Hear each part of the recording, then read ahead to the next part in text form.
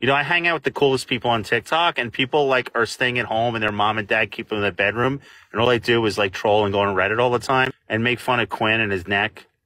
You know, like and Yeah, his like, chin, you're like the one of the most handsomest guys in the history of, of the universe. I know I'm good looking. I know I'm a handsome fuck. You know, but the thing is, like, these people, like I've seen some of them. They look like they look like they they left over from Halloween. Some of these trolls, like they don't realize, like I can see what they look like, and they they literally look like creatures. You know, and they're making fun of my chin. They call me like chinning, like I have like three chins. Like I'm like Montgomery Clift. Like I'm I'm classically handsome, like Montgomery Clift. You know, people know that I'm wealthy. You know, I mean, you know, I'm wealthy.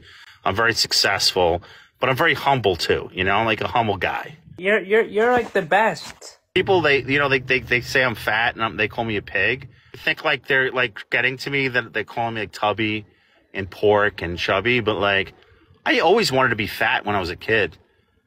I really did because I was so skinny. Like good. like having like three chins is good. Like I want to show my exactly.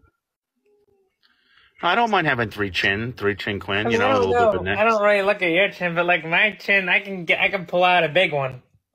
Yes, you have more chins than a Chinese phone book. I could tell. Like anyone who calls me overweight or fat, like it's almost like flattering because I always wanted to be like fat